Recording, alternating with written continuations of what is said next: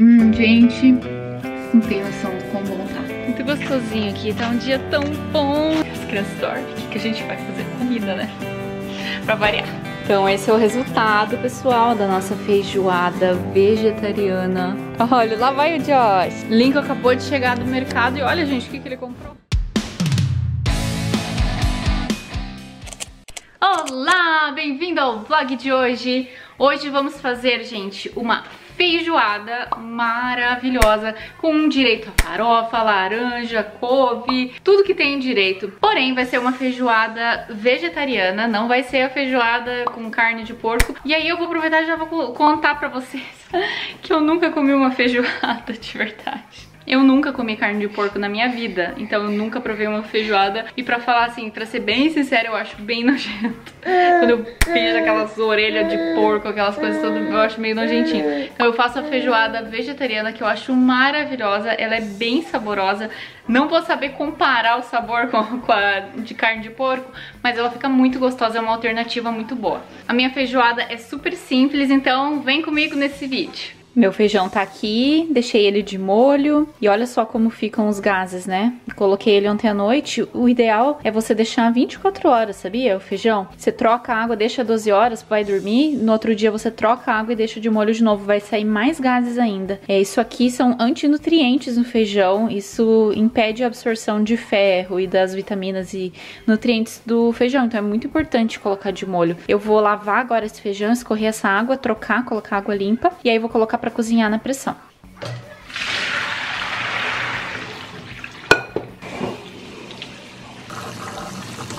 Ó, eu não vou cozinhar todo o feijão de uma vez. Esse aqui eu vou deixar de molho até amanhã e cozinhar ele só amanhã. E esse aqui, aqui tem mais ou menos uns 700, 800 gramas de feijão.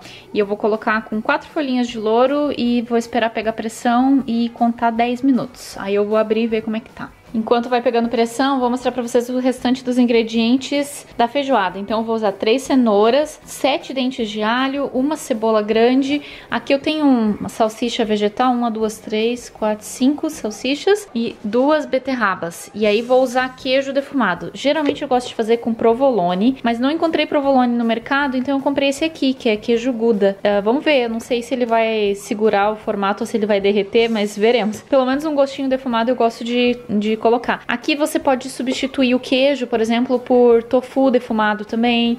Uh, você pode colocar um pouquinho de fumaça líquida ou fumaça em pó, que daí dá esse sabor defumado, assim fica muito bom, sabe? É, mas aí eu vou usar o queijinho hoje. É bem simples, gente. Aí depois no final só faltam uns outros temperinhos, mas é, não é muito complicada a minha receita, não. Tem gente que gosta de fazer a feijoada vegetariana usando bastante tipos de carne vegetariana, mas eu só uso a salsicha. Uh, no Brasil vocês encontram da marca Super Bom, tem vários produtos, tipo tem carninha vegetariana, tem um monte de coisa, e vocês podem escolher o que agradar mais. Uh, agora eu só vou cortar tudo e deixar tudo preparado. Esse aqui, o, o alho e a cebola eu vou colocar no processador porque é preguiça, né, gente? E o resto eu vou cortar a cenoura em rodelinhas e esse aqui eu vou cortar em cubinhos e aqui em rodelinhas também.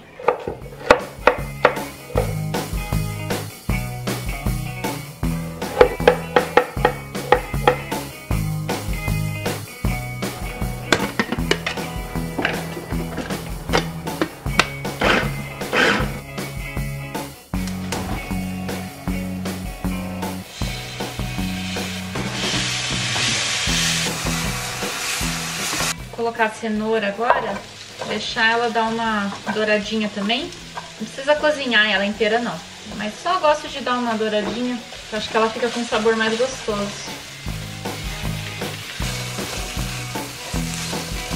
Gente, deu ruim aqui na minha panela de pressão, que eu acho que eu coloquei muito feijão. E é a segunda vez que eu faço isso, ai, eu não aprendo a minha lição, sabe? Então eu vou ter que tirar dessa panela e colocar numa outra, só que essa é a única panela de pressão que eu tenho aqui em casa. Então eu tenho uma outra elétrica, que daí essa sim é bem grande. Então eu vou transferir pra panela elétrica de pressão. E aí, gente, como eu vou fazer bastante, como a panela é enorme, já vou aproveitar e fazer tudo. Então eu vou cozinhar um quilo inteiro de feijão, seja o que Deus quiser, gente. Ai, que pateta, né? Quase começou a transbordar, eu tive que desligar que a água começou a escorrer, porque eu enchi demais. Não façam isso.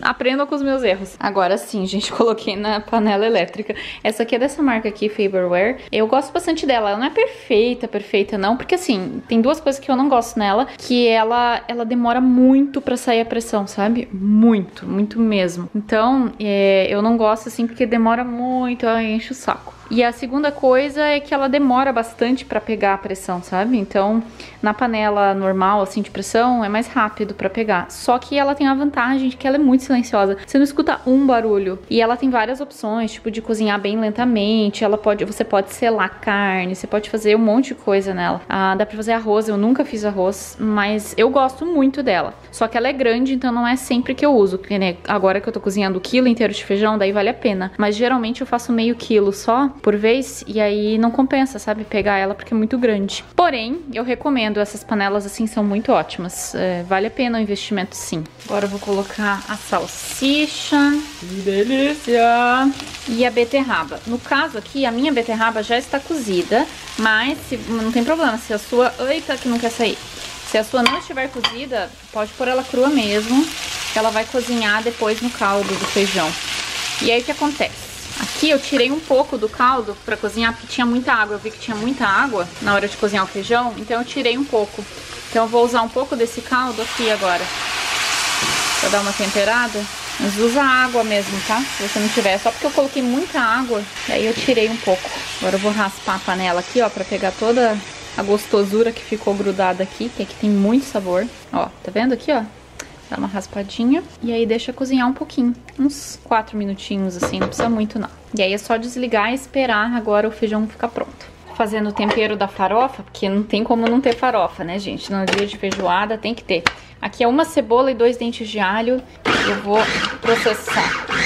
Pronto. Vou refogar na panela, colocar a farofa, acertar o sal, pimenta, é bem fácil. O segredo da minha farofa é ter bastante manteiga. Gente, o dia de feijoada não é o dia da gente ir light nas coisas, sabe? Tem muito alho, muita cebola, manteiga. Quer dizer, acho que é mais a farofa mesmo que tem bastante manteiga. O resto, não, tá mais leve. Ó, vai bastante manteiga mesmo. Vou esperar... Bom, na verdade, eu ia esperar ela derreter, mas acho que eu já vou colocando aqui. Vou dar uma boa refogada, deixar bem fritinho. Olha só, agora vem a farofa. Essa minha aqui já é temperada. Mas eu tô dando uma temperada extra nela porque ela fica maravilhosa.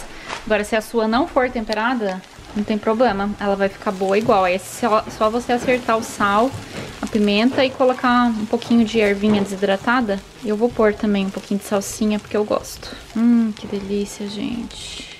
Olha, gente, feijãozinho cozido, maravilhoso. Vou colocar ele aqui agora. Não sei, eu acho que não vou usar tudo não, gente. Não precisa de tudo não. Até bom, porque daí eu posso congelar e ter feijão, feijão sem ser a feijoada, né? Falta só colocar o queijinho. E agora falta acertar o sal e eu piquei um pouquinho de salsinha, que eu vou colocar também. Eu geralmente gosto de colocar coentro, mas hoje eu vou de salsinha. E aí é isso, gente. Bem facinho, gostoso, uma delícia.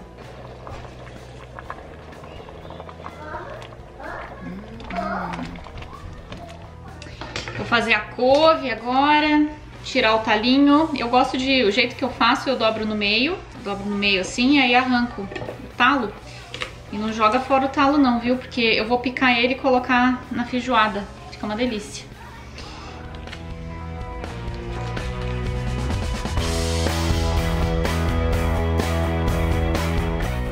Vou fazer um charutinho aqui tentar picar o mais fininho que eu consigo. Não sou muito boa pra picar fininho não, gente. Meu pai que, que manja dessas coisas, ele, ele pica muito fininho. Fica a coisa mais linda. Mas eu não tenho muita habilidade não.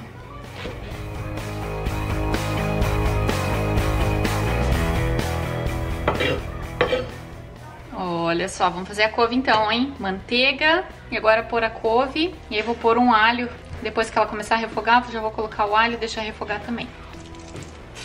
Hum, hum, hum. Tô usando aqui três dentes de alho. Vou temperar com um pouquinho de pimenta, um pouquinho de sal. E eu gosto sempre de colocar um pouquinho de limão também, que além de dar um saborzinho gostoso, ele ajuda com a absorção de ferro, né? Como a gente tá usando couve, tem muito ferro na couve, né? E quando você coloca algo ácido, assim, um cítrico, ele ajuda a melhorar a absorção de ferro desse alimento. Pouquinho de limão aqui. Prontinho. Ó o talo da couve aqui, vou deixar ferver bastante para cozinhar o talo. E aí tá pronto, gente, a nossa feijoada. Olha que maravilhosa. Já tá uma delícia. Agora só falta cozinhar esse talinho da couve. Enquanto isso, já tô fazendo um arrozinho aqui. Tá tudo pronto, vou dar uma geral aqui na cozinha enquanto isso. Então esse é o resultado, pessoal, da nossa feijoada vegetariana. Gente, o cheiro disso tá maravilhoso. Arrozinho bem soltinho, couve refogadinha, laranja e, claro, a farofa. Fala sério, gente, se esse não é um pratinho de respeito. Quero um pouquinho de cada coisa. Hum, adoro feijoada. Tá sensacional. Hum. Ah, hum, hum, hum, hum. Que gostoso. Hum, bom, né, filho? Muito bom. Vocês não têm noção de quão bom tá. Nossa, que delícia que tava essa feijoada. Vou dar a dica, hein, gente. Coloquem algo defumado, tipo, seja tofu defumado, provolone defumado, qualquer coisa que seja defumada. O provolone no Brasil já é, né, defumado. Coloquem, porque, gente, fica muito bom, mas muito bom. Nossa, delicioso. Eu comi tanto, tanto, tanto, que eu repeti, assim, umas três vezes o meu prato. Sério. E agora eu tô com a louça monstruosa pra lavar. Mas não vou lavar não, gente, vou pôr na máquina. Só que a minha máquina tá cheia, que eu coloquei louça ontem e não terminei de guardar. Então primeiro vou guardar e aí vou encher a máquina. Ah, e aí eu vou sentar e ficar no meu food coma. Porque eu comi demais, gente. É até bom ficar um pouquinho em pé, porque aí dá uma baixada na comida, assim, né?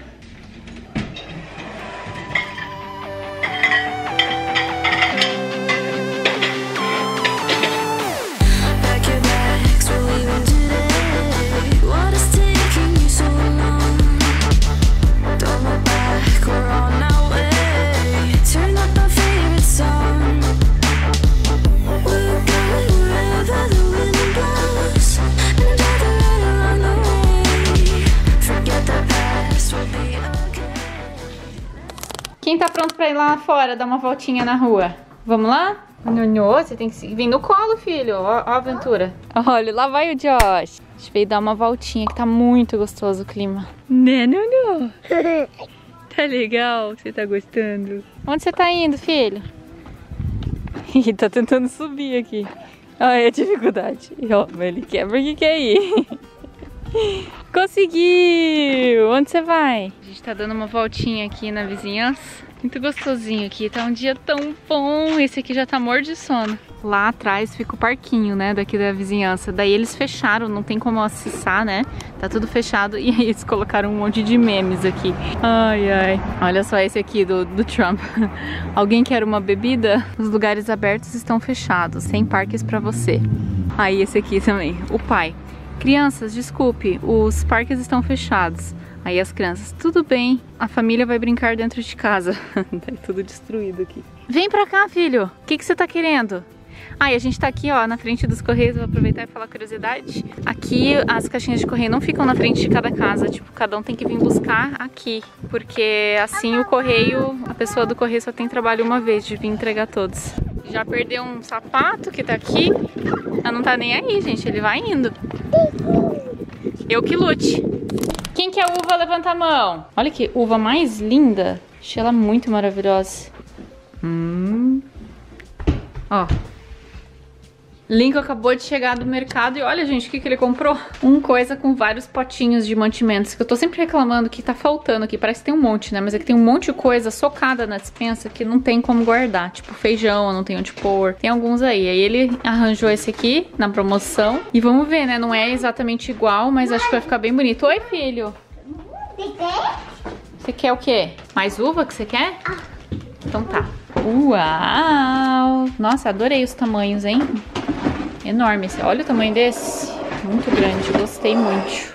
Chegou a hora de regar as minhas plantinhas. Uhul. Não sei, gente, quanto de água eu coloco. Tipo esse tanto assim, tá bom? Vocês que entendem aí, me ajudem, gente. E eu também não aprendi quantas vezes eu tenho que regar, sabe? Eu ainda não sei, gente, com que frequência eu tenho que regar essas plantinhas. Vocês souberem, me ajudem. Vocês me deram uma dica muito boa no último vlog, que era. Último vlog não, um dos últimos. Que era sobre por que, que eu não coloquei as pedrinhas no fundo e eu não sabia, gente, que tinha que colocar. E aí agora eu tô pensando em fazer uns furos no vaso embaixo para poder escorrer a água. Eu não sei agora o que, que eu faço, porque não tem como tirar toda a terra de novo e plantar tudo de novo. Vai ser muito, não sei, vai ser muito trabalho. Acho que eu tenho medo de destruir, sabe? Ai, mas se eu soubesse, eu tinha feito. E aí aqui, ó, gente, a salsinha tá precisando ser plantada. Hoje o Lincoln foi no mercado e ele comprou mais um vaso pra eu plantar. Mas aí esse outro vaso é melhor. Esse vaso vem com alguma coisa aqui, algum suporte. Eu não entendi ainda pra que serve isso. Será que é só um pezinho? Eu não sei. Mas esse aqui eu vou ter que, ou vou furar, ou eu vou por pedrinha embaixo. Qual que é a melhor opção? Eu vi alguém falando de argila e outras coisas também, gente. Me ajudem. Me ajudem, porque eu sou muito patetinha com essas coisas. E, e a, o tanto de água que vocês me viram regar, me ajudem também se é um tanto ideal e com que frequência eu devo fazer isso. Essas aqui são melhores porque tem um vasinho, tá vendo que ele tem um buraquinho dentro? Que daí não deixa a água acumular. Então fica bem melhor. E olha como ela já tá bem seca, assim. Eu tô precisando aguar ela, olha. Tá morrendo, bichinha. Tem tipo uns... Deixa eu ver, três dias que eu comprei ela já tá assim. Mas é que ela já tava meio ruinzinha mesmo. Vou, vou dar uma aguada boa nela agora.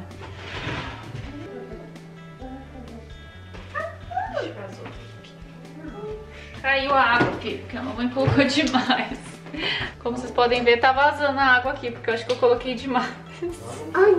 Essa aqui que eu vou tentar não pôr tanto. Vamos ver. Essa aqui é menor, então acho que ela vai precisar de menos. Será que tá bom? Acho que tá, né? Hora do jantar. O que, que o Nonô tá papando? A boca toda suja de morango. Comendo os moranguinhos aqui. E o Josh, tá papando o que, Josh? Tá tentando subir aqui no meu colo. Hum, hum, hum. Olha, oi. Oi. Oi. Coloquei as crianças pra dormir. As crianças dormem. O que, que a gente vai fazer? Comida, né?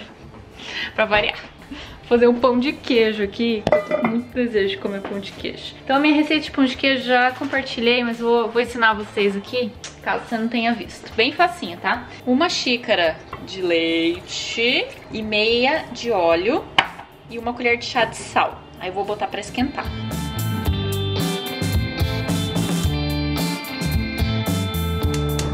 Enquanto isso esquenta, vou pegar 450 gramas de polvilho e vou colocar na batedeira, gente, por pura preguiça, tá? Não tem necessidade alguma de fazer na batedeira, mas vou deixar a batedeira bater, misturar pra mim, vai ficar melhor. Vou colocar aqui dentro. Pode ser polvilho doce, pode ser polvilho azedo, pode ser a mistura dos dois, usa o que você quiser. Aqui eu tô usando doce. Eu gosto de misturar os dois, mas vou usar, porque o meu, eu compro um pacotinho aqui, é exatamente o pacotinho, sabe, que eu uso. Esse aqui vem lá das Cochinchina lá, lá da, da galera do Corona lá. E aí, é isso, vou esperar isso aqui ferver, fica de olho, hein, enquanto isso eu vou ralar o queijo. Aí, ferveu, levantou, eu virei as costas e ele ferveu, porque leite é traiçoeiro, né? Eita, peraí, antes de eu colocar aqui, quase que esse troço virou nesse meu fogão que eu limpei hoje. Deus me livre. Eu vou bater com essa raquete aqui. Gente, tem necessidade alguma, tá? De bater na batedeira. Eu que tô de frescurenta, que não quero pôr a mão, porque fiz a minha unha hoje de manhã. Não quero estragar. o que, que a gente precisa fazer? Por que, que a gente esquenta? Tem que escaldar o polvilho, que senão fica ruim, gente. Se não escaldar, fica ruim. Não precisa jogar aos poucos assim, igual eu tô fazendo não, tá? Pode pôr tudo de uma vez. Ah, a gente vai até com a casquinha do queimadinho aqui. Ó, mas mistura aí, se estiver fazendo na mão, mistura aí com uma espátula pra não queimar a mão. Tem que ralar o queijo. Agora tem que ralar o queijo. Vou deixar misturando um minutinho aqui. Mas eu já ralei muito hoje, né, gente? Trabalhei pra caramba, então vocês acham que eu vou ralar o queijo? Vou nada. Vou botar no processador pra o processador ralar. Que tem uma coisa que eu detesto na vida, é ralar queijo. Não sei você, gente, mas eu prefiro lavar um processador do que ter que ralar o queijo. É um negócio que, não sei, me dá um pouco de desespero, sabe? Porque eu acho que vai ficar um pedaço do queijo, ou vai ficar um pedaço do meu dedo ali, ou vai sei lá o que. Ai, não, não gosto de ralar as coisas. Tem essa dificuldade. Hoje eu vou usar dois queijos, que é o cheddar branco, hashtag rica, e o parmesão. Eu geralmente faço com mussarela, mussarela e parmesão. Só que aí, minha amiga, Cíntia, inclusive se você estiver assistindo esse vídeo, dá um joinha aqui pra mim. É, ela faz pão de queijo com esse cheddar branco. Ai, gente, muito bom o pão de queijo dela. Vou tentar fazer e ver como é que dá. Mas eu sempre faço com mussarela, dá super certo. Vou aproveitar e ralar tudo. Obviamente eu não vou usar tudo isso não, viu, gente? Mas é que já que eu tô sujando o processador, já vou deixar tudo ralado na minha geladeira. Daí eu guardo na geladeira. Ó, então é o seguinte, tem o parmesão, um restinho aqui. O que que tem aqui? Uma meia xícara, talvez? Eu gosto de fazer meio a meia quantidade, geralmente, sabe? Mas eu não vou pôr muito parmesão não hoje, porque é o que tem, né? É bom dessa receita que você pode usar qualquer queijo, gente. Fazer com cheddar amarelo, fazer com, só com mussarela, fica tudo bom. É que o parmesão, ele dá, assim, uma Ai, não sei, dá um salgadinho que eu acho que fica bom. E aqui, ó, também faço tudo no zoiômetro, gente. Umas três mãozadas assim de queijo. Uma, duas, melhor medida, mãozada, né? O que, que vocês acham? Três. O pessoal de Minas vai querer morrer. Vou ver meu pão de queijo, mas prometo que ele fica delicioso. Misturar e aí vou pôr o ovo. O ovo é o seguinte, porque cada dia a receita pede um tanto.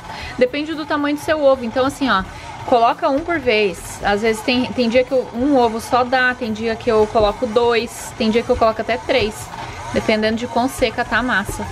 Se a massa ficar muito mole, aí fica difícil de modelar, sabe? Então cuida com a quantidade de ovo. Só que mesmo a massa ficando mole, se acontecer o um acidente e a sua massa ficar mole demais, saiba que é só pegar uma, modelar ele com colher ao invés de fazer com a mão. Ele fica muito bom, sabe? Com bastante ovo ele fica bem gostoso apesar de ficar difícil de modelar. Agora vamos ao ovo.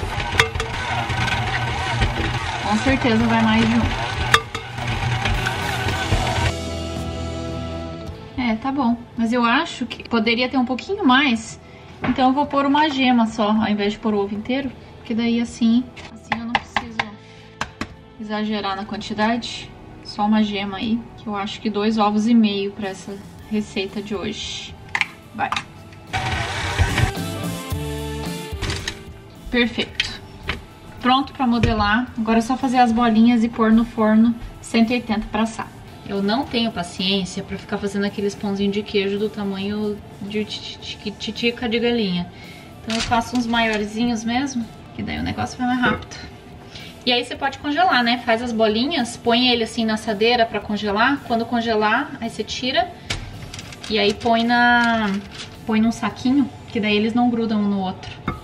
Fica perfeito. Aí depois é só levar pra assar ele congelado mesmo. Ou então pode guardar essa massa na geladeira, se você quiser colocar num pote com tampa. Quiser fazer tipo agora metade, amanhã a outra metade. Deixa ela na geladeira, que ela aguenta, tá? Desde que ela esteja, é, desde que ela esteja tampada, porque se você não tampar, ela vai criar uma casquinha, não fica tão boa. Ficou perfeita a massa, porque ela ainda tá úmida, tá quase querendo grudar na mão, sabe? Significa que ela vai ficar uma massa suculenta, não vai ficar aquele pão de queijo seco. Eu espero. Toda vez que eu tô fazendo receita na frente de vocês, eu fico com medo. Eu falei, ai gente, daqui a pouco vai que me erra a mão. O negócio não dá certo e eu pago um carão aqui pra vocês. Mas é boa essa receita. Ó, eu vou assar esse tanto aqui e o resto da massa eu vou guardar pra amanhã. Pra ele ficar fresquinho. Porque pão de queijo reaquecido não fica a mesma coisa, né? Então eu prefiro assar amanhã o resto. Esse aqui é só pra mim pro Lincoln. Tudo isso, gente, porque a gente gosta mesmo. Vocês podem ver, né? Agora vai uns 20 minutinhos no forno, acho. Olha que lindos os pães de queijo saíram do forno agora. Nossa, tá tão cheirosinho. Hum, quente, quente, quente. E eu vou contar uma coisa pra vocês. Eu tenho uma mania que eu aprendi com uma amiga. Eu gosto de comer pão de queijo com mel. Nunca vi ninguém fazendo isso sem ser essa minha amiga. Ela, ela ensinou. E eu acho que é uma delícia, sério, experimentem. Você molha no mel ao invés de molhar no ketchup ou qualquer outra coisa, molha no mel, faz o teste. Gente, muito bom, sério. Depois comenta aqui, depois volta nesse vídeo e me conta o que, que você achou do teste, que fica muito gostoso.